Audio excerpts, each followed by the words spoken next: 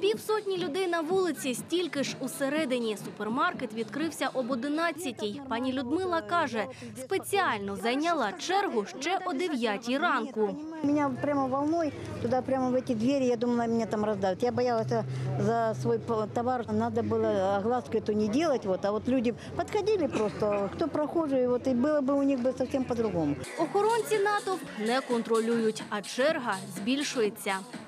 Обещали скидки 30%. Посмо- Посмотрим, что. Та через годину супермаркет закрили. На місці працюють правоохоронці, адже отримали повідомлення про скупчення людей.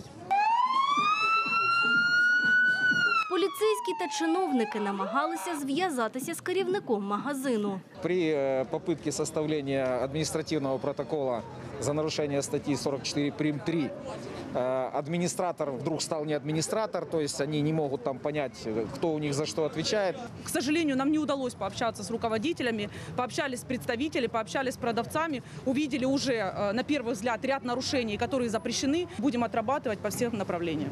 На покупців протоколи не складатимуть, а ось керівництво магазину має відповісти за порушення карантину. Правоохоронці відкрили кримінальне провадження. Максимальне покарання до трьох років позбавлення волі.